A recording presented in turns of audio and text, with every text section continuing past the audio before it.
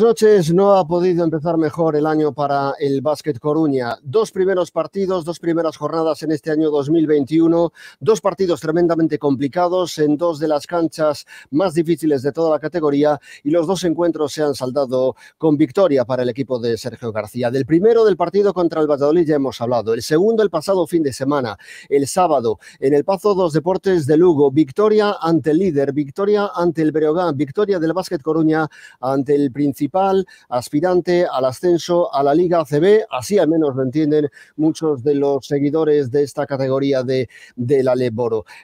Ha sido tremendamente importante esa victoria del Leima Basket Coruña, ya no solo eh, por hacerlo ante el líder, ante el Breo, sino por lo que supone también en cuanto a refuerzo moral y refuerzo mental del equipo de, Sergio García. Así que así ha comenzado este año 2021.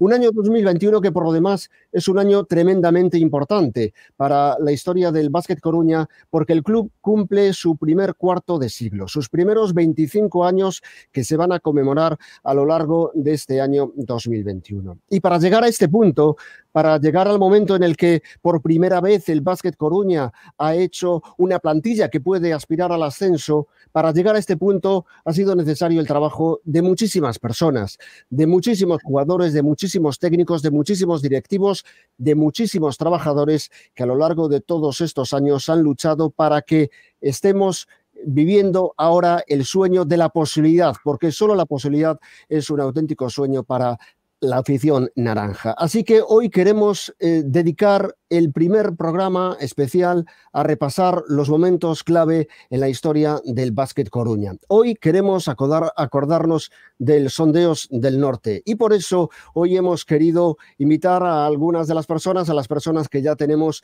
en pantalla, para eh, hacer con ellos esta primera parte de programa, programa especial que vamos a dedicar al Sondeos del Norte. Lolo Castro, ¿qué tal? Buenas noches. Hola, buenas noches, ¿qué tal? Javier Díaz Castroverde, ¿qué tal? Coach, ¿qué tal, entrenador? Buenas noches. Buenas noches. Gus Díaz, ¿qué tal, Gus? Buenas noches. Hola, ¿qué tal? ¿Cómo estáis? Os quería bueno. decir una cosa primero. Sí. Lolo, estás guapísimo, ¿eh? estás guapísimo, macho. Es actor, tío. Es, es actor. Javier, tú también, pero Lolo, ya sabes. Cuidado, ¿eh? Bueno, yo, yo, yo todavía sigo peinando. Ya, ya, ya, ya. Eso es verdad. Oye, Lolo, ha sido a gusto empezar, ha sido a gusto empezar un programa, ¿eh? Que ¿Verdad que sí? de entrar... A partir de ahora todo va peor. ¿eh? Bueno, en, enseguida, enseguida vais a compartir tertulia con Pablo y con, Julián, dos de los componentes de este programa, pero y os voy a dejar con ellos para que habléis de, esa época y lo pongamos todo en contexto histórico. Pero antes os quería hacer una, una pregunta al hilo de la presentación que hacía eh, del programa. Eh, ¿Tenéis también esa sensación, esa sensación de que lo que vosotros hicisteis en su momento nos permite ahora, en el presente, pues estar hablando de estas cosas, de la posibilidad de ascenso, de un equipo, de una plantilla que puede, eh, que puede soñar, que la gente eh, pues está tremendamente enganchada, empieza a engancharse cada vez más eh, al baloncesto. ¿Os sentís también artífices del presente, del presente que vive el club, Lolo? No, no.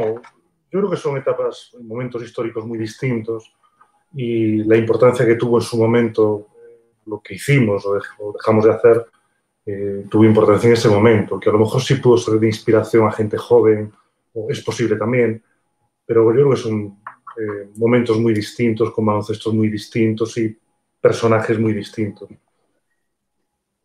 Gus. Bueno, yo creo que lo que vivimos nosotros, sí es cierto lo que dice Lolo, que eh, fueron personas distintas, pero yo quiero pensar que fue un punto de partida. ¿Vale? Y sí me gusta pensar que, bueno, que nosotros llegamos los primeros, hicimos un trabajo, Y bueno, luego vino otra gente y siguió ese trabajo. Y bueno, son 25 años de existencia del club y, bueno, y somos parte de la historia. Yo quiero pensar que por lo menos somos un punto de partida. Javier. Eh, ¿Qué cuento? ¿Lo que pienso que es políticamente correcto? Lo que piensas siempre. Lo que pienso siempre lo he hecho y no, esperaba menos que me das. Yo creo Mira, en baloncesto se puede hacer de distintos hay distintos modelos. Se puede ir por la inmediatez o por la planificación. Eh, Vázquez Coruña, Sondeos del Norte, funcionaba por la planificación y con una idea muy clara que era la gente de aquí. Eh, ahora esto ha cambiado. Yo no creo que tiempos pasados hayan sido mejores, que hay que evolucionar con los tiempos pero ahora esto es otra historia. Es una sociedad inmersa en, un modelo de inmediatez, con todo lo que el riesgo que lleva consigo eso. Entonces son cosas completamente diferentes. Muy bien, pues ahí quedan vuestras reflexiones. Vamos a saludar ya a Pablo Alonso. Hola Pablo, ¿qué tal? Buenas noches. Hola, buenas noches. ¿Qué tal, Pablo, Gus, Javier? Hola Pablo, ¿qué tal? Y saludamos también a Julián Valiente. Julián, ¿qué tal? Buenas noches. Hola, buenas noches a todos. Hola, Gus, Javier, Pablo, ¿cómo estáis? Vamos a hacer una cosa, como Pablo y Julián vivieron esa época y yo no, aunque he oído hablar mucho de, esa época y os lo digo en serio, porque eh, os puede dar la sensación de que de, de vuestro paso por el Sondeos del Norte, por el Básquet Coruña, ha pasado mucho tiempo y quizá la memoria a veces es frágil, eh, pero los que guardan esa memoria eh, se han encargado, Pablo, Julián y otros se han encargado de, recordarnos eh, aquellos momentos. Así que lo que vamos a hacer es que os voy a dejar con ellos, Lolo, Gus y Javier, os voy a dejar con Pablo y con Julián para que podáis compartir este tiempo tan especial que es para nosotros tirando de tres. Pablo, adelante.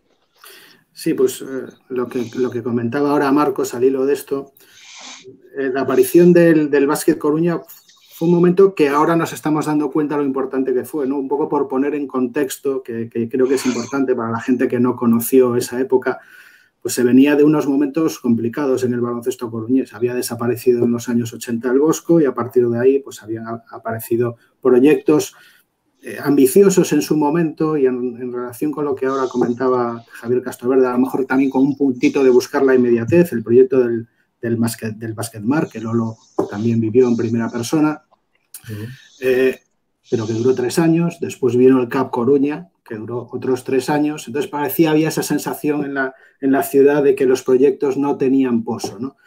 Apareció Básquet Coruña y el hecho de que este año estemos celebrando el, 25 aniversario, cotas hasta, las que solo había llegado en baloncesto masculino el Bosco en la ciudad, creo que, bueno, pues dan, dan ese, esa idea de la, importancia que tuvo ese proyecto y creo que, o creemos que para ponerlo en valor era importante recordar a los que vivimos esa, época, que desde luego la tenemos muy presente, y aquellos que no la vivieron para que la conozcan, pues ese es el, objetivo, el motivo de hacer este programa, pues reuniendo a tres de los grandes representantes, y no quiero olvidar a, tantos otros como Manu Pereira, como, como Raúl López, como Héctor Vázquez, como en directiva, como Quique, Carucho, de Besa, eh, Cheche, cuánta gente que ha estado metida en ese proyecto, pero bueno, personalizarlo en vosotros tres.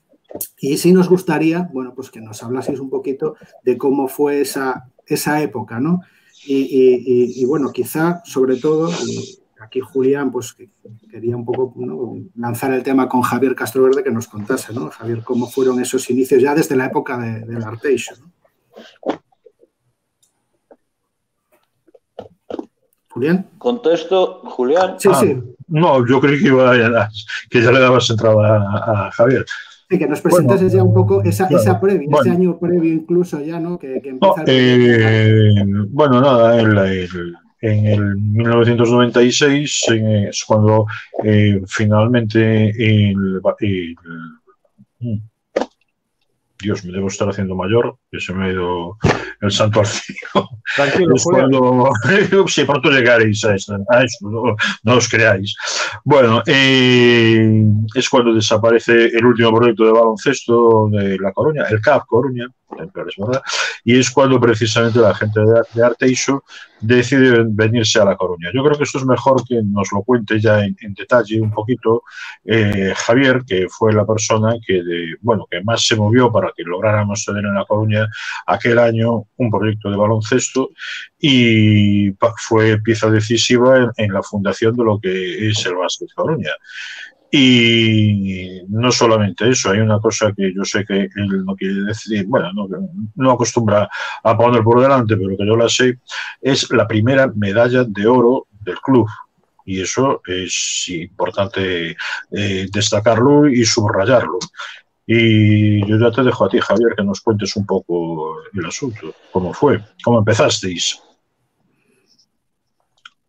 Bueno, la historia es muy sencilla y Gustavo y Lolo no me, no me van a dejar mentir. La historia fue que nosotros nos clasificamos en Arteixo para jugar el playoff el de ascenso a la CB y nos tocó jugar con Bilbao.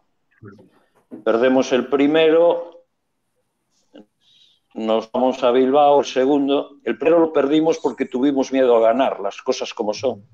A mí no se me olvida aquel partido y creo que ellos dos tampoco. Vamos el segundo, ganamos en Bilbao con la casilla a reventar y el caso es que tenemos que jugar el tercero y esos días en Bilbao conocemos que la idea de tanto de José Antonio, que era el presidente de Arteixo, como de Pepe Pais, era ya dejar, ya estaban cansados y lo dejaban, ¿no? Entonces, dentro en el hotel empezó el run run de qué vamos a hacer, qué vamos a hacer.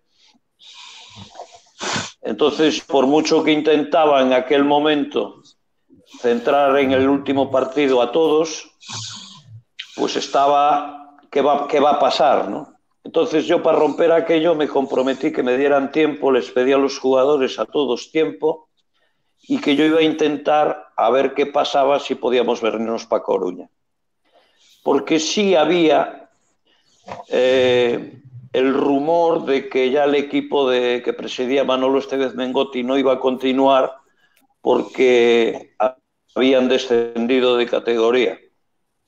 Efectivamente. Y fuimos, o sea, les pedí que me dieran tiempo, que no me anduvieran dando la paliza llamándome cada vez cómo iba el tema. Y yo solo empecé, hablé con Mengotti, Mengotti me confirmó que efectivamente no, Luego me fui a tomar un café con Javier Losada, le conté la posibilidad de que viniéramos para Coruña y que necesitábamos ayuda. Nos dijo que una conversación conmigo a solas de que sí, que efectivamente contaba con el apoyo del ayuntamiento. Dada su predisposición, le pedí que a ver si era posible que la cancha del, del viniera para la deportiva, así como las canastas y los asientos que habían dado de la última remodelación que habían hecho en el estadio de Riazor. Y así fue, fue cuestión de, de muy poco tiempo que se vino todo. Luego ya empecé a trabajar con, con Franco Roura para haceros toda la como fue, que fue una ayuda increíble. Y ellos dos, nosotros dos solos, fuimos haciendo todo el camino con la ayuda de, de Ángel Palmi, que era el director deportivo de la federación, porque dependíamos de que nos autorizara a hacer ese cambio. A partir de ahí ya fue con Carlos de Besa plantearle todo lo que teníamos ya. Me hizo gracia que Carlos me dice, bueno, ahora solo hay que buscar un sponsor. Y dije yo, bueno, pues vale. Y salimos los dos al día siguiente por la mañana a buscar el sponsor y a Carlos se le ocurrió parar en sondeos del norte. Me dijo, mira ahí, íbamos por Meicende con la intención de ir a, al polígono de Arteixo. Este hombre es un hombre que ayuda al deporte. Paramos y esa mañana salimos con un compromiso con, con Enrique Vázquez y con Sondeos del Norte, que fue el patrocinador. Y esa fue la historia. Después ya un día llegó Quique por allí por el club, por el Ventorrillo, y le planteamos todo. Fue el primero que dijo para adelante. Bueno, falta un presidente y con una generosidad tremenda, Quique dijo yo mismo. Y así fue.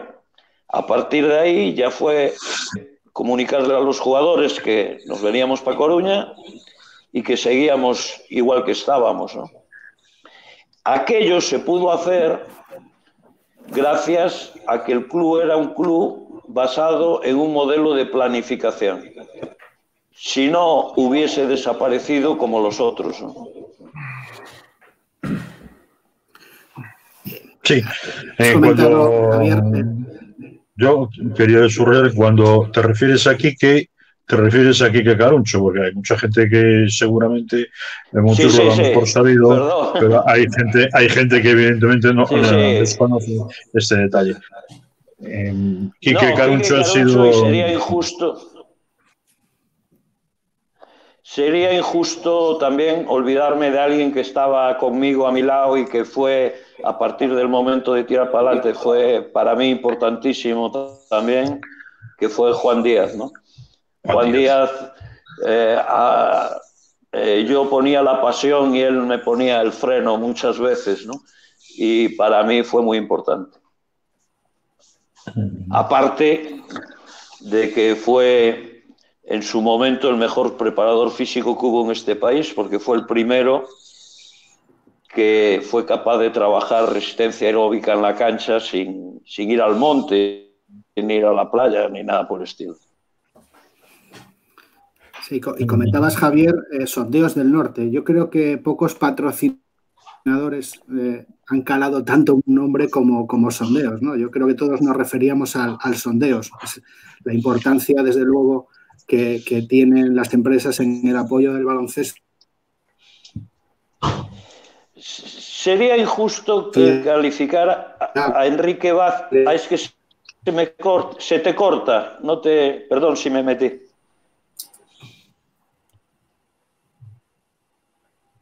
Pablo. Decía que. No, te,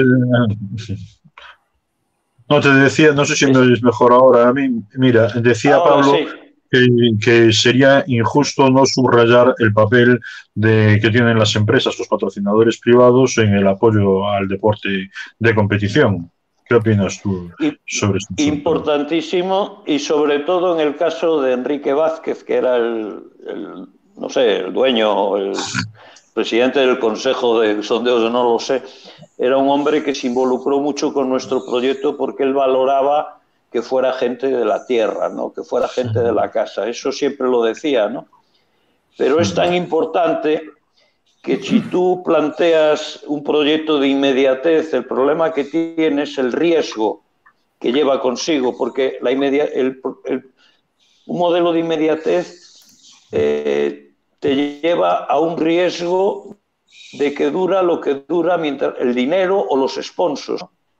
Entonces, eh, quizás por, lo que me ha tocado vivir a mí dentro del básquet, tanto en España como fuera de España, los proyectos de inmediatez tienen muchísimo riesgo, muchísimo riesgo. Y además, esto, esto no es una empresa que, que compras a cinco y vendes a siete. Esto es un juego. Y a veces se olvidan de que esto es un juego.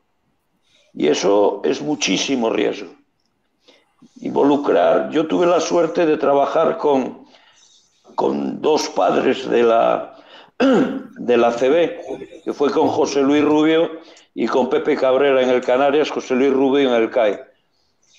Y los dos, en distintas épocas, me decían lo mismo, que el gran error que habían cometido era convertir el club en su totalidad en sociedad anónima, que eso fue lo que les llevó a la caída, ¿no? Y de hecho, hoy por hoy se están haciendo proyectos mixtos por medio de fundaciones, eh, se está haciendo la cosa diferente, pero todo el club inmerso en una inmediatez de una sociedad anónima deportiva, con todo lo que lleva consigo, creo que es de, de muchísimo riesgo. Muy bien. Y, bueno, y ahora entrándonos en el, en el, tema, en el tema después ya deportivo, Gus, Lolo, empezáis y el primer año ya en, en, en EVA ya empezáis con, con, un título, con el único título oficial que tiene el club en, Copa Galicia, ¿no? ¿Cómo, ¿Cómo, vivisteis aquel momento que, vamos, yo todavía tengo en la retina aquella victoria ante un Orense ACB plagado de americanos y un equipo pues, eh, que era ese, en aquel momento no había llegado Jamal Johnson todavía al equipo y estabais prácticamente menos Rubén Ruiz, todos gente de, de, aquí, de la casa. Es que yo creo que fue el primer partido que jugasteis en la polideportiva, ¿no? Puede estar Pero no había ningún americano. No, no, no, no, eran todos gente de casa. No, no, no. No, no había llegado Jamal Johnson todavía. No, no, no. No, no, no. Fue posterior. La Copa Galicia la jugamos todos de aquí. Bueno, y, y Rubén Éramos, eran todos de aquí. No había americanos. Hay americanos de Arzúa, hay americanos de La Coruña, hay americanos de... Sí, porque, bueno, durante mucho tiempo los verdaderos americanos nuestros eran gente, gente que vivía con nosotros, no nos olvidemos.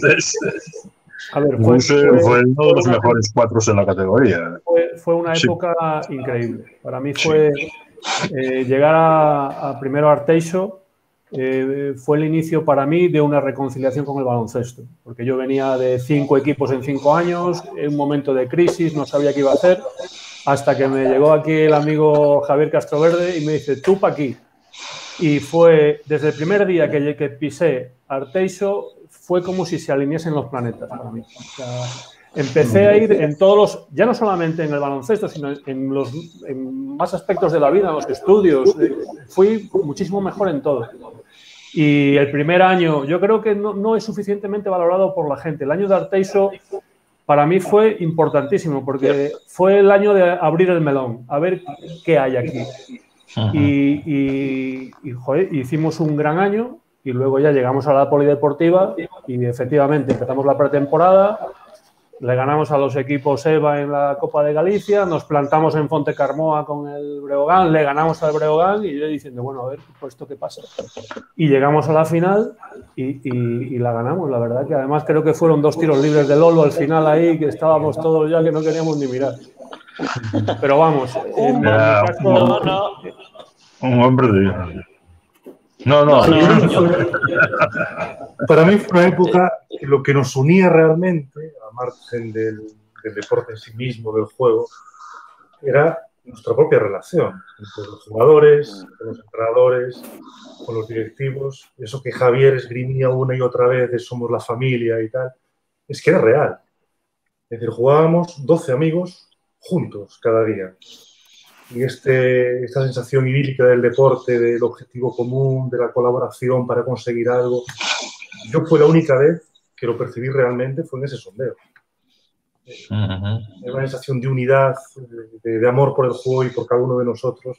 Era espectacular y, y fue lo único imprescindible, por lo menos de mi carrera deportiva, lo único que no borraría. Eh, todo lo demás fue como eh, aledaño, anecdótico, estuvo bien, pero eso fue imprescindible. Comentabas al, principio, comentabas al principio, Lolo, lo de que eran, digamos, etapas distintas y la importancia que podía o no haber tenido aquella época vuestra, pero yo, yo quiero comentarte un, quiero comentaros un detalle. Fijaos lo importante que fuisteis en la historia del baloncesto actual, que habiendo pasado ya 20, 20, 20 y pico años de esa época, hace un par de años, sí, hace un par de años nosotros hicimos en, en el Nordés Naranja pues un, una especie de, de, encuestas para buscar el, el, quinteto histórico del básquet Coruña. ¿no? Y elegíamos un base, un alero, un escolta, un ala pivot y un pivot. Y eh, lógicamente, pues la memoria reciente siempre, siempre tiene esa ventaja, ¿no? Pero quiero comentaros que en el puesto de cuatro, en el puesto de cuatro se eh, elegía entre, después de unas series previas, se elegía entre Beca Burganatze, Gus Díaz, Jason Kane y, eh, y Esmoriz. Beca Burganatze salió el, mejor cuatro de la historia del básquet Coruña, pero el segundo salió Gus Díaz. El segundo salió Gus Díaz. Y en el puesto de base estaba Zach Monaghan, Lino López, Valentín Holgado y Lolo Castro. Ganó Zach Monaghan con un 40 y pico por ciento, pero con un 38 por ciento salió Lolo Castro. Con lo cual, fijaos que estoy hablando de una votación de hace dos años y la presente que sigue esa época en la, memoria del aficionado, que en este caso personificado en vosotros dos, os siguen considerando como de los mejores jugadores en, el puesto en la historia de, de Básquet Coruña.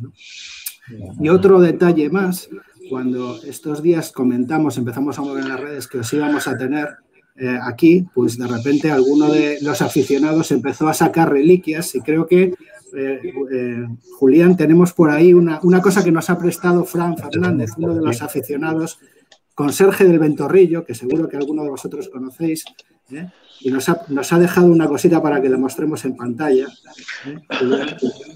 Una camiseta con el 9, os va a sorprender eso del 9, a lo mejor si le das la vuelta. Sí, está muy cerca. Bájalo un poquito más. Una camiseta de Lolo Castro con el número 9. Y ahí vamos a hacer una pregunta para un concurso que vamos a hacer. A ver si alguien nos puede decir de qué temporada es exactamente esa camiseta. Porque ese, ese número 9 es un hecho sorprendente en la historia de, Lolo Castro en el básquet de Coruña. Pero Lolo, llevaste el 9. Sí. confirmado. Confirmado que llevaste, el 9 Sí, sí, sí, sí.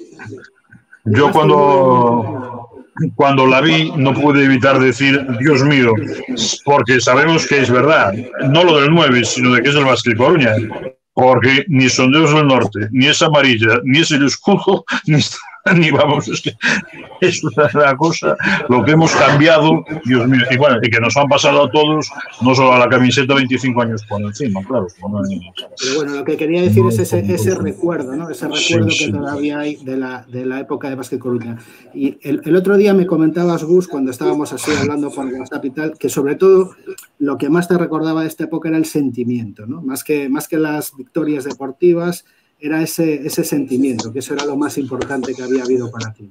Sí, bueno, como, como dijo Lolo antes, em, la sensación era de, estar con la familia, con un grupo de amigos y, y, sí es cierto que, que, había algo más que, que, multiplicaba, que daba como, como, resultado una multiplicación y yo no sabía lo que era.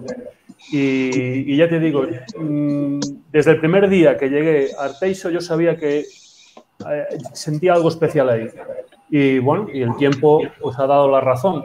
Estuvimos muchos años juntos, lo pasamos bien, eh, seguimos viéndonos, ahora nos vemos menos porque algunos vivimos fuera, pero, pero vamos, que fue, como dice Lolo, una época imprescindible. Yo también viví más, más baloncesto en otros sitios y, para mí, eh, pieza fundamental el, vamos, el, nuestro periplo en, en el básquet Coruña. Sí, decir para aquellos que no conozcan un poco tu historia que tú llegaste a hasta con Vladimir Tachenko en, en, Guadalajara. Sí, sí, sí. O sea, sí, con, sí. Con, un, con, un, mito del. Con sí, un mito del... sí, sí, es verdad, es verdad. El primer año que, que, que debuté en la, primera, la antigua primera B, que ahora sería la Oro, eh, nuestro extranjero era Tachenko. Impresionante. Impresionante. Y, ahora que venimos de jugar este partido el, fin de semana pasado contra Breogán, que es un poco ahora quizá el partido de rivalidad más importante que tiene Básquet Coruña, quería preguntarte, Gus, ¿qué tenías tú en contra de Loar, que siempre los machacabas cada partido? Bueno, Loar o el Club Baloncesto Galicia. No, no, Mira, la culpa, la, culpa, la culpa es del señor ese que está ahí, que es entrenador, que me dio mucha confianza, me dio mucho cariño ¿eh? y, con confianza, con cariño y con trabajo, pues se consiguen las cosas. Sí, y además, además más años después, el principal rival de entonces, el que, más nos metíamos con él, que era Lino, fue el, sucesor de Lolo. Eso también, bueno, evidentemente eh, también fue un jugador muy querido, pero no lo mismo. Hombre, hay que recordar esos play de descenso, ese playoff de descenso con la polideportiva abarrotada contra un UAR, un club baloncesto Galicia, en el que estaba Manolito ayer, por ejemplo. y en el que yo recuerdo un partido de vuelta en, Ferrol donde en concreto Gus, o, el segundo, aquí no me acuerdo, que los machacaste con cinco triples o, algo así. La, verdad que eh, no parecía, al final no parecía un, descenso. ¿eh? los dos equipos jugamos un muy buen baloncesto. La verdad que, hay que reconocerlo. Hicimos, en LEP, en LEP sufrimos bastante, pero al final eh, se ofrecía buen baloncesto. Es que era una leva muy. una leva terrible. Primero ya fue una EVA terrible y después fue una leva terrible. Hombre, fue una LEP en la que es verdad que de los cuatro años que estuvimos jugamos tres playoffs de descenso, sufridos pero muy disfrutados. Recuerdo el último playoff de descenso que se juega contra Córdoba, que perdemos aquí el primer partido en casa y después le ganamos tres seguidos. Y lo que, lo que hablabais antes del baloncesto distinto, estaba repasando estadísticas el otro día y de los cuatro partidos de la serie, Lolo Castro juega 33 minutos en el primer partido, 40 en el segundo, 40 en el tercero y 40 en el cuarto. lo, que, lo que habla de la... Jarrod, que tenéis... ¿Puedo, contar una anécdota de Lolo en... mira, el, No solo puedes, sino que debes. La primera... Se puede contar, Lolo, eh, tranquilo. Ah, la primera... La primera LEP que jugamos, eh, Javier era entrenador y fuimos a, hicimos, eh, jugamos el playoff contra el Mallorca. Y el primer partido lo perdemos en Coruña, ganamos el segundo y el partido decisivo estaba todo, todo el mundo, pues eso, apretado. Y, y Lolo, pues nada, empieza pum, pim, pam. Lolo se hace 34 puntos, 34. Y había el americano del equipo contrario y decía, joder, pero si es un tío nada más. Y yo, ya, ya, pues, pues ponte a defenderle. pero eso es cierto, lo decía, no, no, pero joder, es un, es un, es un jugador solo. Y yo, ya, ya, pues, pues ponte. Yo, siempre digo que, yo, siempre digo que, no ha habido una persona, un jugador que me haya levantado más veces de mi, de mi asiento que Lolo Castro la, magia en la cancha. yo lo que quería preguntarte, Lolo, es por qué Lolo Castro no pudo jugar más en, en ACB. Tú juegas tres partidos en Valladolid, Valladolid que dirigía Lanzana, ¿no? Si no recuerdo mal. Sí, sí. ¿Y, por qué Lolo Castro no tuvo una carrera más amplia en ACB? Quizá por tu forma de las otras cosas. Hay un azar en, el éxito de una carrera deportiva al margen del talento que puedas tener más o menos. Pues, una especie de de estructura, de coyuntura que tiene que llevarte también hacia ahí. Eh, yo apoyo mucho también lo que decíamos antes. Yo creo que todos en Coruña dimos como un nivel especial de cada uno de nosotros, porque Javier supo entender muy bien quiénes éramos cada uno y otorgarnos el rol que correspondía. Y el juego estaba en torno a cada uno de nosotros. Todos éramos importantes en un momento determinado del partido. Y yo creo que sí, yo creo que aquí dimos todo nuestra, ofrecimos nuestra mejor cara baloncestística, porque el estilo, la forma de hacer las cosas, la forma de sentir, eh, estaba hecha para nosotros. Eh, y estábamos muy, muy cómodos jugando aquí. Pero no sé especialmente por qué no tuvo una carrera en ACB más o menos. Los directores técnicos no son idiotas y seguro que vieron cosas que no les gustaba de mí. Así, así pudiste estar aquí años. Muy bien. Ya, ya, me fastidia tener que ser aquí el que, bueno, tenga que interrumpir esta, esta agradable conversación, pero el tiempo la verdad es que, es que no, se nos echa encima, así que tenemos que ir terminando. Eh, no sé si antes de irnos, Pablo, Julián, queréis hacerles alguna última pregunta a nuestros invitados tan especiales de esta noche y cerramos ya. Bueno, simplemente es eh, saber si, más o menos estáis algo conectados con el baloncesto a día de hoy. Ya sabemos que en el caso de Lolo es multifacético, restaurador, con ese magnífico restaurante Amoa en Santiago, actor también, como decía antes Javier Castro Verde, un hombre, un hombre del renacimiento, Castro. Eh, y, después, bueno, Gus profesionalmente también. No sé si seguís teniendo alguno de vosotros tres contacto con el baloncesto actual, si lo seguís, si seguís al, al Básquet Coruña, ¿cómo, es vuestra relación actual con el baloncesto? Pues yo sigo el mío. Oye. Sí, sí. Alguien que hable, alguien. Hola. Hola, Javier, adelante. Yo estoy intentándolo. Hola. No voy a decir dos cositas, si me lo permites. El secreto del éxito de sondeo será porque nos divertíamos haciendo baloncesto. Éramos felices. Y si Lolo no tuvo más camino, fue porque no, a lo mejor no le daban la felicidad que él necesitaba para jugar.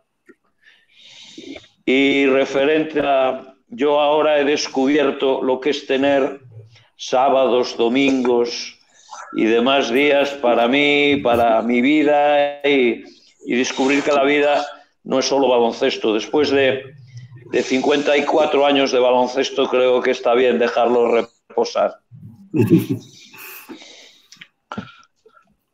Gus, en tu caso, ¿qué ibas a comentar? No, yo sigo, sigo el Básquet Coruña, sigo los resultados, veo un poquito de NBA y hasta hace poco todavía jugaba hasta que me rompí la rodilla. O sea que ahora, ahora, ya. ahora, ya, ahora, ahora aplaudir. Exacto. Lolo. Lolo. Yo muy poco. Eh, ACB prácticamente nada, eh, solo un poquito de NBA, un poquito de baloncesto universitario y después mucho de baloncesto nostálgico, 80s y 90s. Eso es lo que más. Qué bonito era. Qué bonito era. Muy bonito. Lolo, Gus, eh, Javier, de verdad os queremos agradecer muy mucho que hayáis querido participar con nosotros en este programa especial, que hayamos recordado aquellos momentos. Me ha encantado la frase de Javier Díaz Castroverde, tengo que admitirlo. Éramos felices jugando al baloncesto. Me parece que es el colofón perfecto para este tiempo que hemos compartido entre, entre los seis, los seis que estamos ahora mismo en pantalla. De verdad, muchísimas gracias a los, a los tres por estar en Tirando de Tres. A vosotros. Gracias a vosotros. Un fuerte abrazo. Animaros, animaros por mi parte a seguir porque creo que es de agradecer que después de veintitantos años os hayáis acordado de que hemos existido, que algunos parece que se han olvidado de que hemos existido. bueno, en la, en la mente de los aficionados en la mente de los aficionados, aquellas tardes de sábado en la polideportiva eran imborrables, Javier. Así que gracias a vosotros que en su momento nos hicisteis muy felices. No, no, lo, no, no lo digo no lo digo por mí, lo digo por ellos que se merecen algo más de lo que, de lo que se les reconoció, la única Copa Galicia ganada por jugadores gallegos. La única. La Nunca suficientemente valorado. Pero bueno, que sirva este programa. Y muchas gracias. Saludos. Muchísimas gracias a los tres. Un saludo. Hasta luego. Muchas gracias. Hasta luego. Gracias y suerte. Chao. Yo veo tirando de tres. Yo veo tirando de tres. Yo veo tirando de tres. Yo también veo tirando de tres.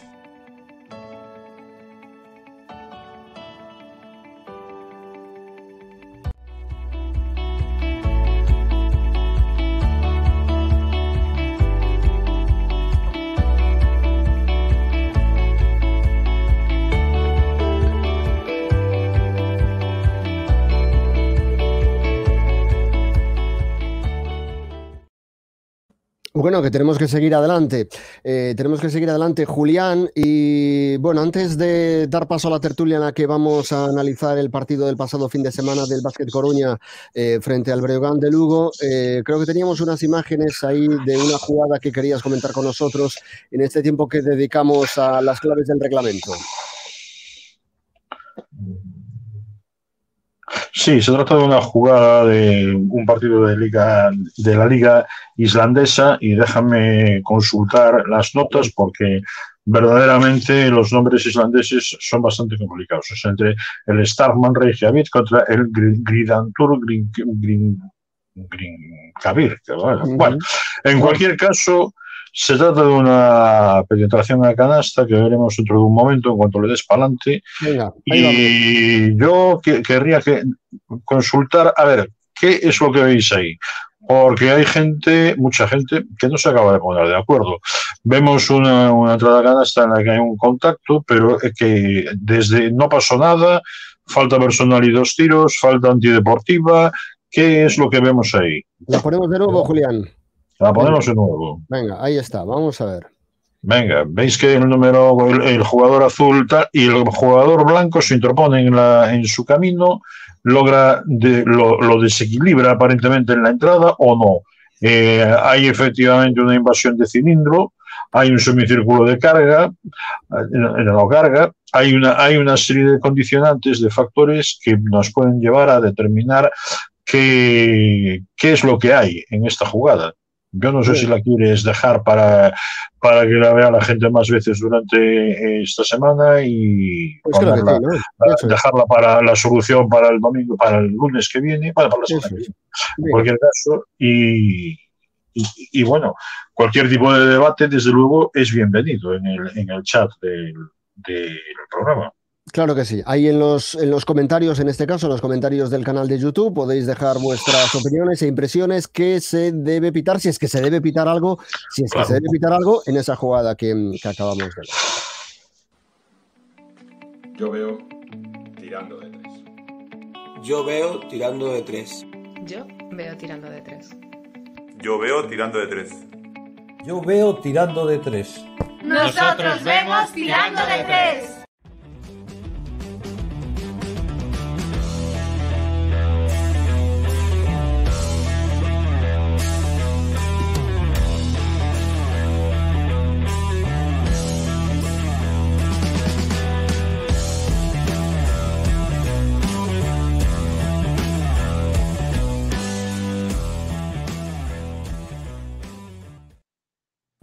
Bueno, pues no nos olvidemos que el pasado sábado eh, jugó el Básquet Coruña y ganó en la cancha del Breo, ganó en la cancha del Lugo ante el primer clasificado del grupo. Dicen muchos que es el principal aspirante al ascenso a la, Liga CB, así que creo que debemos dedicarle eh, unos minutitos a, ese partido. Eh, se incorporan al programa Javier Rigosa, habitual de Tirando de Tres. Javier, ¿qué tal? Buenas noches. Buenas noches.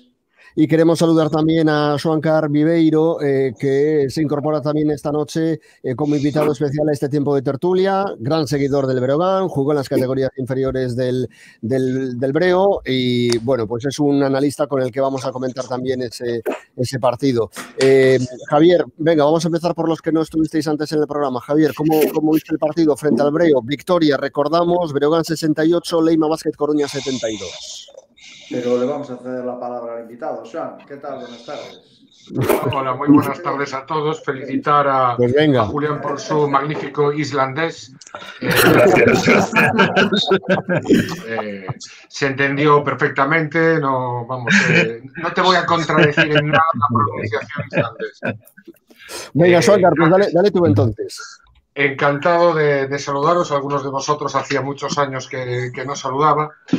Y pues bueno, eh, un, partido típico de derby, que es lo que se suele decir, eh, donde creo que el Básquet Coruña planteó un partido y al final se jugó el partido que Básquet Coruña tenía planteado a priori. Eh, a pesar de ello y a pesar de, de, que no, de que el Breogán, sobre todo en ataque, yo creo que este año en defensa estamos bastante bien, pero sí que se ha notado que en ataque en este partido mm, eh, nos faltan recursos. Eh, a pesar de ello, a pesar de ello, a, pocos minutos de terminar el partido eh, nos pusimos creo que dos, dos por arriba, pero morimos en la orilla y, bueno, para mí un jugador fundamental en este, en este partido, de esos jugadores secundarios que parece que, que aportan poco, pero que en este partido para mí fue fundamental, fue Badmus. Eh, vamos, 3 de 3 en tiros de 2, 1-1 en tiros de 3, 4 de 4 en tiros libres, un rebote ofensivo y 13 de valoración, el más valorado con 12 minutos jugados. Creo que la salida de Badmus le, le dio un empujón a, a Básquet Coruña y, y, bueno, fue un partido uh, muy trabado en muchos aspectos, muy bonito en otros, porque la lucha entre Larsen y Magui, para mí los dos mejores cinco de la liga, fue muy bonita. Para los que nos gusta, como decía Lolo Castro, el baloncesto de antes, eh, esas luchas de cinco puros eh, jugando con todo el cuerpo, pues a mí me, gusta, me gusta, el baloncesto también me gusta en defensa y, bueno, creo que un triunfo merecido eh, por parte de Básquet Coruña y, bueno, mm, habría mucho más que añadir, pero no me voy a alargar porque quiero oír vuestros comentarios y aprender de ellos. Venga. ahora si no te escapas, venga. Hola, Juan. Tú me parece que estás un poco con la corriente de Lugo que, el Básquet Coruña eh, jugó un partido preparado así, digamos, para jugarlo de una manera determinada. Y aquí nos pasó un poco lo mismo con nosotros, que estuvimos muy atascados, la defensa de Breo fue tremenda aquí, superior a la nuestra. Y yo creo que en este caso no funcionasteis mucho porque la defensa nuestra fue muy buena, salvo algunos errores puntuales.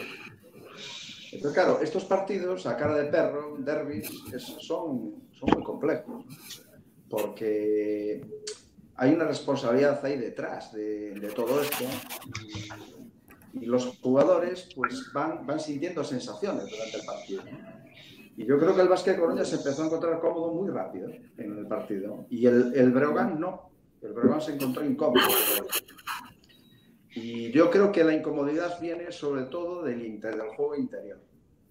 Que yo creo que tuvisteis bastantes dificultades en el juego interior, cosa que, por otro lado, no esperábamos nadie. Porque yo creo que tenéis un interior más fuerte que nosotros, más potente. Pero yo creo que un poco la debilidad mental viene por ahí, porque los bases, además Quintela, para mí son un espectáculo, ¿no? O sea, los jugadores es una delicia absoluta, ¿no? Y no sé, me da la impresión de que viene un poco por ahí, ¿no? La debilidad del brego, ¿no? Del juego interior, que yo pensé que ibais a ser muy dominantes, y no lo fuisteis, Creo que viene un poco por ahí. Y la defensa, ¿eh? La defensa nuestra. Y el acierto, claro. Pues no te digo en el exterior, como estuvimos. ¿Eh? Pues que, si, el déficit estuvo en el interior, no te cuento en el juego exterior como estuvimos. Bueno, porque jugasteis mucho interiormente, fueron, hubo muchísimos balones para adentro, pero no lo olvides que yo no miro mucho porcentajes, actúo más, por sensaciones. Y yo creo que las sensaciones es que dentro yo esperaba que ibais a ser muy dominantes y no, no acabé el partido con esa sensación. Me pareció. Es una impresión. ¿eh? Hombre, yo, eh, Javier, ahí eh, discrepo, porque claro, dominantes tenían, tenían dentro, a ver, cuando estaba Magui, no eran tan dominantes. Podían ser más dominantes cuando estaba Raffington, pero cuando estaba Maggie no eran tan dominantes. De todas formas... Con Raffington, sufrimos. Con Raffington claro. Claro, claro, claro. Eh, por eso eh, nos dominaron en, según qué fases del partido. Sin embargo, para mí, defendimos muy bien el, exterior del, Breogán. Y prueba de ello es que el Breogán es un equipo que, primero, eh, tiene una gran una gran incidencia el tiro de tres en, su juego. Y durante este, este partido yo creo que es de las veces que eh, han tenido menos ocasiones claras de tirar de tres y han tenido que tirar de dos y encima las fallaron. O sea, que es una, un, indicio muy claro de, la defensa que, se ha realizado. Nosotros, aparte de eso, pues tuvimos, bueno, el rebote estuvo así eh, equilibrado, no, no, me fío de las estadísticas porque este año las estadísticas no son, vamos, para nada fiables, porque vamos, que hubiera tres, rebotes ofensivos por parte del, del Coruña, no me lo puedo creer, no me lo puedo creer y, vamos, no, no, lo miro. Pero, eh, por ejemplo, nosotros hemos logrado bajar el número de pérdidas, hemos tenido mejores mejores ataques y además nos han entrado, nos han entrado. Y además hay una cosa que también es importante el Brogan, en el juego del Brogan, que esta vez no se lo hemos permitido, bueno, no, no, se, no se lo hemos permitido, no les salió. El Brogan es un equipo que te lleva constantemente a la línea de tiros libres. Y aunque, aunque han tenido una cifra casi casi similar de tiros libres en, su juego, porque eso sí lo podemos, eh, podemos contarlo, eso no hay manera de escaquear un tiro libre, puedes escaquear un rebote, pero un tiro libre está ahí. Pero cuando han tenido una cifra similar de tiros libres, pero un bastante menor porcentaje de aciertos. O sea que eso han sido para mí las claves del juego de este partido. Mejores posiciones por parte de Coruña, mejores posiciones y mejor defensa. Aún aún, y dejar en 68 puntos al Breogán, que casualmente fue lo mismo que metieron aquí en Coruña, pero que aquí les valió para ganar. Bueno, yo varias cosas que quería comentar. Lo primero, lo, bonito que te da el baloncesto, que aparte de estar ahora pues, reviviendo esa, esa época histórica que a mí tanto me gustó, de Lolo Castro, de Gus, pues la otra es poder saludar a Shankar, que hace un montón de años que no, que no hablábamos. ¿eh? y el baloncesto nos da esta oportunidad de volvernos a saludar. Lo segundo, felicitar a los Reyes Magos por el nuevo ordenador o cable de red que, le han regalado a Javi Raigosa, que se ve como un tiro hoy. Sí, bueno, no cantes victoria, no, cantes no canto victoria. y, en, relación con, relación con el partido, yo creo que, el, ritmo, el ritmo fue de Básquet Coruña. Así como en el partido de ida, claramente el partido lo dominó Breogán y se jugó lo que ellos quisieron, aunque el resultado fuera igual de bajo pero yo creo que esta vez el ritmo sí lo marcó el, el Coruña, lo que comentabais del tiro exterior. Yo creo que aunque Larsen hace muy buenos números, sabe, supimos contener lo que Larsen genera para los, demás. Larsen es un generador brutal en Breogán, para sí mismo por lo que anota, pero es que es tremendo lo que él crea desde el poste abajo para, para tiro exterior. Y ahí supimos parar bien eso que Larsen genera en los demás supimos parar el contraataque y las transiciones rápidas de Brogan, que también le da muchos puntos, sobre todo con los Quintela.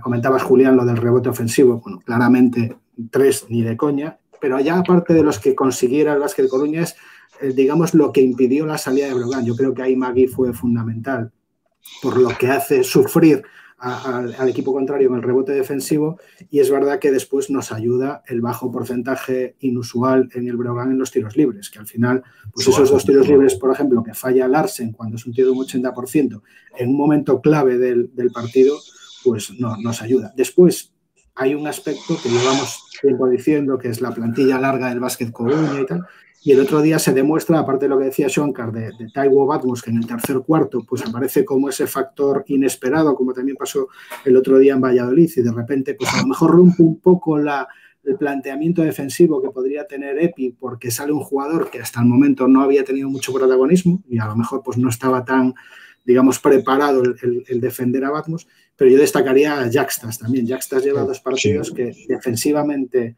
en el último cuarto de Valladolid y el otro día contra Breogán lo mismo. Defensivamente es un jugador que se anticipa, que roba balones, que es incómodo y en ataque pues también da esas soluciones con esos tiros de 3-4 metros que, él tiene. ¿no? Entonces, bueno, después y encima pues aparece la magia de Zack, que a veces pues sale cara más y a veces sale cruz, bueno, pues yo creo que es, lo que sí es importante es como en dos partidos claves como para Básquet Coruña, que eran Valladolid y Lugo, se, vio al equipo más serio en la pretemporada y controlando muy bien lo que decías antes, Julián, bajamos de 20 pérdidas que tuvimos el día de Tizona con 10 pérdidas que tuvimos el otro día. Al final, son 10 posesiones más que en partidos igualados se notan muchísimo.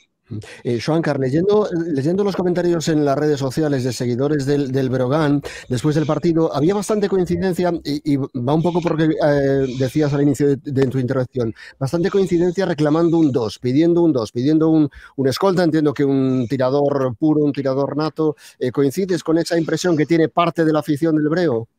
Eh, coincido con ese y con algo más. O sea, yo, creo que con este diseño de plantilla se nos va a atragantar mucho el final de temporada. Eh, evidentemente que falta una amenaza de tiro exterior, digamos, de referencia, eh, que está lesionada, que es Ajone, que, que, parecía que la cosa iba a ser para poco, después para más y ahora ni se sabe, ¿no?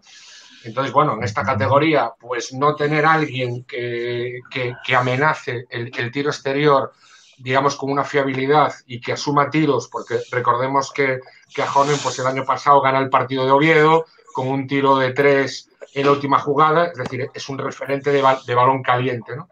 Y evidentemente nos falta eso, pero para mí claramente nos falta juego interior. Nos falta juego interior. Para mí nos falta un 5 como el, como el respirar. Eh, todo pivota alrededor de Larsen. Eh, el relevo del Arsen es Seydou Abubakar, que yo creo que tiene un margen de mejora esta, esta temporada importante. Y después tenemos dos cuatros que sí apoyan mucho eh, en el rebote, como es Iván Cruz y también pues, el, el, resto del equipo, pero Iván Cruz es un reboteador de los más importantes de la liga y, y, y, aporta mucho. Pero, pero yo creo que una rotación más interior y un escolta eh, sí que nos harían falta como profundidad de equipo. ¿eh? O sea, ves la profundidad del, del básquet Coruña y las alternativas de juego que te dan. Hombre, yo rezo para que no coja un resfriado Larsen. Eh, porque ahí sí, sí. íbamos a sufrir, mm, pero muy mucho, porque, porque todo pivota alrededor, no solo de lo que anota, como decía Pablo, sino de lo que genera en puesto bajo. ¿no? Eh, es casi un. Me recuerda a Steinbrück, en los tiempos de Steinbrück en el Brogan, ¿no? Alguien que sabe generar eh, mucho juego y que, y que ve, ve a sus compañeros, sí. ¿no? No es de estos pibos que se ciega. Entonces, bueno, yo creo que tenemos una dependencia muy importante de un, de un solo jugador. Y eso, de cara a una temporada tan rara y tan larga, eh, a mí sí me, sí me preocupa.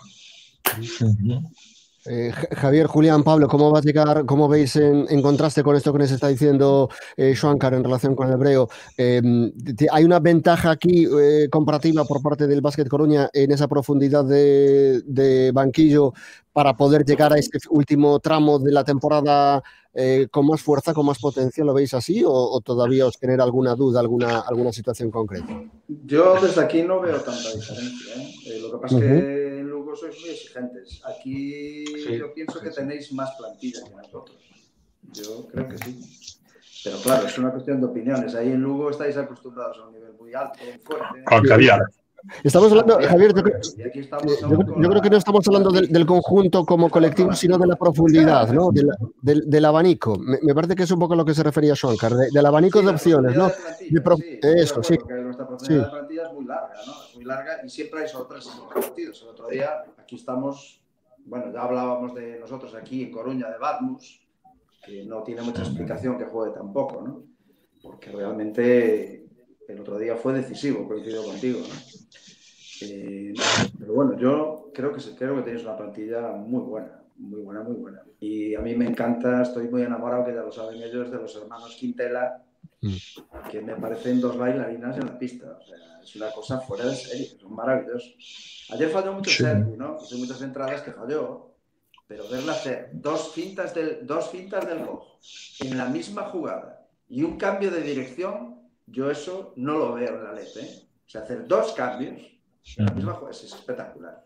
Bueno, yo no voy a intervenir mucho más, pero Joan, yo te acabo de conocer y te tengo que agradecer primero que has subido el nivel estético del programa una barbaridad.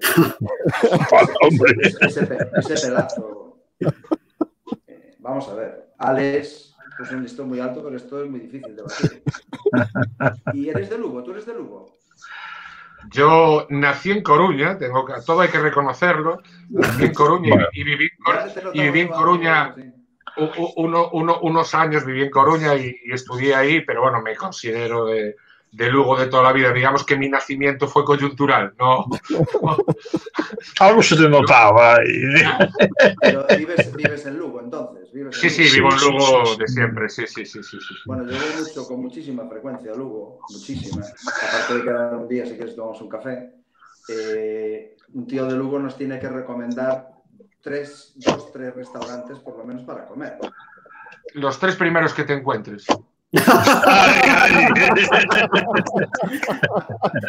Es de Lugo con ascendencia a Bilbao, ¿eh? ahí ha ejercido un poco de, de ese Vale, vale. Bueno, venga, seguimos, no? Julián, Pablo, la, la cuestión que, que, planteaba, ¿cómo lo veis? Bueno, bueno yo, tema... eh, yo eh, eh, no, perdón, bueno, yo digo que vamos, yo el, el, el, el, lo sigo viendo igual de favor favorito que lo veía hace 15 días, ¿eh? no, no, hay, no hay duda en eso, vamos, para mí. Y ahora tiene una salida muy difícil a Valladolid este domingo, ¿eh? ahí va a ser una piedra de toque. Y al no haberle ganado a nosotros el, el, el parcial, el, el, coeficiente, pues eh, para, para ellos es una victoria más en, de cara a la a la, primera plaza del grupo. Así que para mí me va a ser, bueno, yo sigo pensando que es eh, un gran favorito. No sé qué decir en cuanto a la Copa Princesa, que es un tema que no hemos tocado nada. La semana que viene, la semana que viene. Pero vamos, pero que el Breo tiene ahí un partido importantísimo contra el Alicante, que también nos puede ser, bueno, nos puede decir algo del grupo A, grupo B. Parece que el grupo A éramos la de Dios es Cristo, todos los ocho, los nueve equipos éramos candidatos al ascenso y en el grupo B era el pelotón de los torpes. Y parece ser que no es tanto. ¿eh? que cuando vemos algún partido, claro, cuando vemos algún partido del grupo B decimos, coño, estos también son difíciles de matar. ¿eh? Aquí no hay partido malo. ¿eh? Va a ser una pena para el equipo que asciende a la CB. Para salir Perderse la Claro, claro. Pero espero daros mucha pena a final de temporada. bueno, te acompañaré o, no, pero ojalá. Pablo. Aquí hay, un, aspecto que al final, con esto que estamos diciendo ahora del ascenso, al final hay una plaza de ascenso y lo importante va a ser llegar a los playoffs en condiciones. O sea, puede que un equipo que llegue al playoff en quinta sexta posición, pero si llega a su pico de forma o tiene suerte, además playoffs a tres partidos, siempre son más de más riesgo, entonces el tener jugadores en pico de forma, el no tener lesiones, el no tener un problema de, positivo de COVID, o lo que sea, eso puede, condicionar muchísimo, ¿no? Y cómo llegues en ese momento. Sobre lo de la longitud de plantilla, es cierto que Vázquez Coruña tiene una plantilla de, hasta 13 jugadores hoy por hoy, y Breogán va a depender mucho de si a Jonen al final va a llegar bien o no en forma y recuperado. Para mí es un jugador diferencial en la liga por lo que genera. Es un, es un, escolta, esa pregunta que hacíamos antes de qué es un 2, bueno, pues para mí Ajonen es un 2 prototípico, un jugador que tiene capacidad, de, tiene capacidad de generar él, de asistir a sus compañeros, pero aparte tiene, tiene esa capacidad de tiro y sobre todo un jugador que en momentos calientes eh, no, se, no se arruga. ¿no? Entonces yo creo que a Jonen bien le va a dar a Brogan algo que a lo mejor ahora le, le, está faltando. Y sí es cierto lo que dice Shankar, que quizá Seidú no está dando lo que el año pasado dio en, Valladolid, que fue una, una, sorpresa. A lo mejor el año pasado en Valladolid dio o rindió por encima de lo que se esperaba. Y en, en Lugo pues a lo mejor está dando un poco menos. Tampoco es verdad que no se le puede pedir a Seydou ni mucho menos lo que hace Larsen. Es un jugador, pues evidentemente defensivo, reboteador, duro, pero no va a ser un jugador que en ataque sea diferencial. A mí sí me está sorprendiendo un poco, aunque venía a hacer un partidazo el otro día, Iván Cruz, más que nada por el poco protagonismo que le estoy viendo. Pensé que iba a ser un jugador más, pensaba más en el Iván Cruz de la anterior etapa en, en Lugo, ¿no? Un jugador con mucho con mucho balón en ataque y pues este año parece que le está costando menos. De hecho, pues, yo creo que rara, rara vez está superando los, los 8 o 10 puntos en, partido. El otro día se queda en 2, me parece. Entonces yo creo que ahí sí que puede tener el Brogan un poquito de problema si Larsen llega físicamente a final de temporada un poco exigido o cargado de minutos. Venga, tenemos que ir terminando. ¿Queréis apuntar algo más antes de despedirnos? Sí, yo quería preguntarle a Shankar. Ah, Shankar, ¿estuviste en el Pazo? ¿O lo viste por la televisión? Este, este partido no me tocó, eh, me tocó el anterior. Eh, sabéis que va por sorteo, eh, podemos meter a 500 personas y bueno, me tocó el anterior partido, este lo seguí por la, por la tele. Ese va a ser el factor el hecho de que en los playoffs, el Pazo pueda jugar con 5.000 personas o con 500, pues quieras que no, se va a notar. Es el rugido del Pazo, no puede, no puede olvidarse. ¿Y cómo es el Pazo con 500 personas? Muy frío, muy... Mm, hombre, no es a lo que estás acostumbrado. Claro. Evidentemente, el ambiente que se genera en, en Lugo, supongo que todos habréis estado, sí, sí, sí, en, algún partido, el ambiente que se genera en Lugo, y más en este tipo de derbis, ¿no? que además suele desplazarse gente de Coruña, igual que los derbis contra, contra Orense, son unos partidos preciosos. Preciosos como, como ambiente. el entorno, el ambiente que se genera. ¿no? Entonces es triste, es triste. O sea, los amantes del baloncesto, pues nos vemos nos vemos jugadas de la liga islandesa para comentar, ¿no? Pero, realmente lo que nos gusta es estar en un pabellón eh, lleno de gente y jugándonos algo, ¿no? Claro, es, la, claro, claro, claro. Es, es, es, la salsa de esto, ¿no? Sí. Eh, bueno, mm, es raro, es raro, es raro. Reigosa, antes de despedirnos, venga, apuntamos algo más por ahí. Bueno, yo quería comentar un poco de la otra fase de la liga, que me gustó mucho el Palma, aunque no lo vi entero. Hizo fue extraordinario y además en momentos duros. Y le quería hacer un comentario a Sam porque sí que hay un jugador que para mí está bajando mucho en vuestra plantilla, que es Soulade. En los momentos calientes o en los partidos duros es cuando los jugadores buenos se ven. El otro día Eric eh, le salió un carácter lo mejor de, del equipo para mí, con diferencia. ¿no? Eh, sin embargo, Soulade se escondió. Eh, ahí sí que podéis tener un problema. Porque... Bueno, para, para mí hay, hay, hay tres jugadores que, que, creo que pueden dar mucho más, sin decir que no estén dando todo lo que pueden, pero creo que tienen muchísimo margen. Uno es Soluade, que no es el mismo. Soluade, perdón. Soluade no es el mismo de, de la temporada pasada, ni de lejos.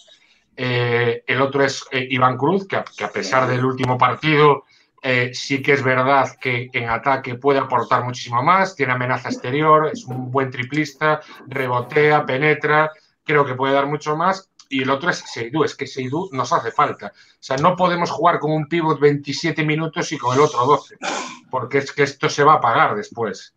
Eh, espero que no, ¿eh? que no se pague, pero, pero no, no, necesitamos a un jugador que no se limite a dar descanso al Arsenal, sino que cuando salga también sea capaz de aportar.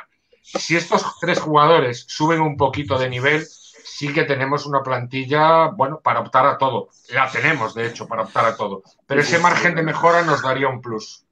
Bueno, bueno y yo comentar para los nuestros, que ¿Sí? son muy para los nuestros, eh, lo del Batmus el otro día, vamos, es blanco y en botella. ¿eh? La, o sea, tiene que subir el minutaje. A lo mejor lo está dosificando por la vuelta de la lesión, no lo sé.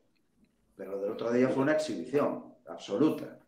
Aparte, que yo creo, esto es una cosa entre nosotros más, yo creo que podría jugar de dos sin ningún problema. Tiene, tiene calidad bueno, para jugar de dos. No abras ese debate, por favor, Javier. Que... No, pero tú imagínate a este hombre ponerlo a postear. O la jugada que hizo dentro, dentro de la zona que recibe el balón. Tiene una superioridad física.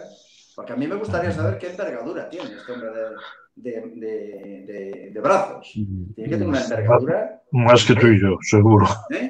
Más que tú, más, más, que tú y yo. claro, claro. Sí, sí, sí. Bueno, yo, yo, creo que. que... Bueno, Badmus, Badmus realmente no puede sorprender a nadie.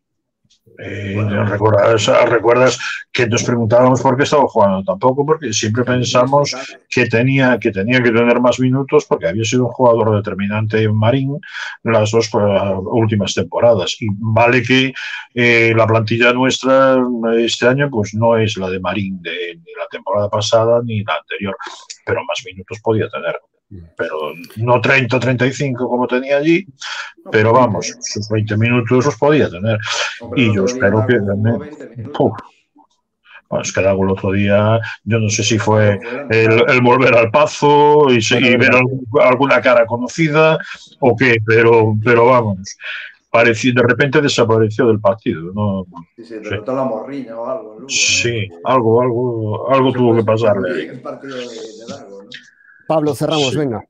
No, lo de Batmus, sí. yo creo que a mí me parece bien que poco a poco vaya encontrando sus sitios, ah, forzarlo. Sí. Yo creo que él, la lesión al principio de, te de, temporada le afectó en el sentido de que perdió un poco la rotación. Belemene lo estaba haciendo, lo estaba haciendo muy bien y, y hay, hay tres treses ¿eh? en el equipo: ¿eh? Belemene, Batmus y, y, este, y Matulionis. Entonces, yo creo que poco a poco está encontrando su sitio y también adaptándose a un cambio de rol. Decíais Marín, en Marín él jugaba de tres y de cuatro y, y jugándose todos los balones que quería y más. Aquí, bueno, tiene que aprender a, a, adaptarse a otro, a otro rol.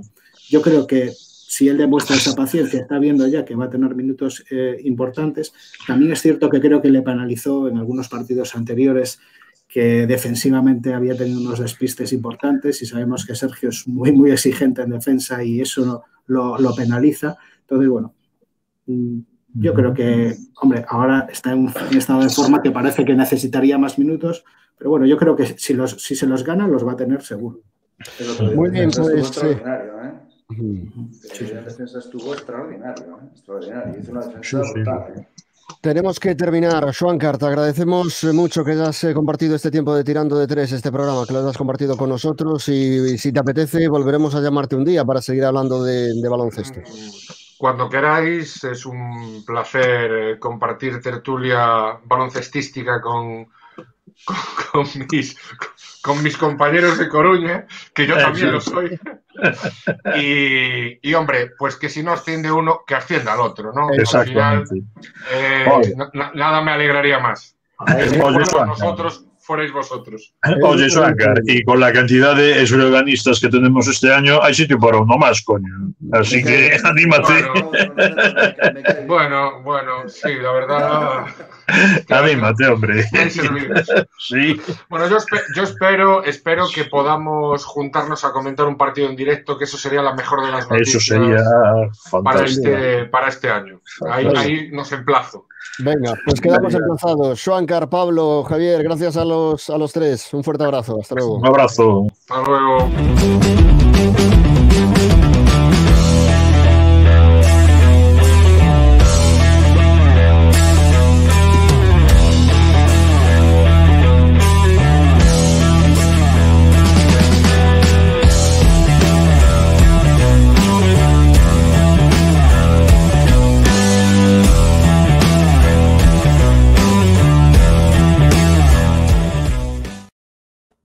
Julián, ya te advierto que nos come el tiempo, ¿eh? Nada, muy rapidito porque hoy no tenemos nada. Solamente voy a dar números. Mira, eh, nada, no hubo jornada en EVA, así que no hay nada que decir. La próxima jornada, el próximo sábado, sí se reanuda la competición y los tres equipos juegan. Cada, todos ellos en su casa, además. Y Maristas eh, tuvo dos partidos, eso sí, no pararon ni el Día de Reyes y recibieron en su pabellón al Rosalía de Santiago y ganaron, importantísima la victoria, y lástima que no lo pudieron ratificar el domingo en, en, Pontevedra, con, perdón, en Villagarcía, con Arsil. Y bueno, pues está en ese grupo de cola que, de cinco equipos con cuatro victorias que están ahí a ver si parece que el Majectias va a ser el que tenga la plaza, una de las plazas de descenso ya aseguradas y bueno, a ver si hay suerte y, y la, la, otra no es para una de las nuestras. Uh -huh. A ver, por mi parte ya nada más. Muy bien. Julián, muchísimas gracias. Hasta la semana que viene. A ti. Gracias, hasta luego. Bueno, pues de esta manera vamos a cerrar la edición de programa de hoy, de Tirando de Tres. En este programa en el que nos hemos acordado de que para que hoy podamos estar soñando con cotas enormes para el baloncesto en A Coruña, hubo gente que trabajó y que jugó y que estuvo en los despachos y que estuvo en los banquillos, que trabajó muy intensamente, aquella gente del Sondeos del Norte. Algunos no tuvimos la ocasión, la oportunidad de ver a jugadores como Lolo Castro eh, en directo, en vivo, sobre eh, una pista de baloncesto. Pero nos han hablado tanto de esos momentos, nos han dicho tantas veces lo especial que era, que nos da la sensación que realmente sí llegamos a verlo. Bueno, quede ese eh, recuerdo como alimento para el futuro, como alimento para la esperanza, como alimento para la ilusión. Porque como decía Javier Díaz Castro Verde, lo importante es ser feliz jugando al baloncesto. Nos vamos, chao.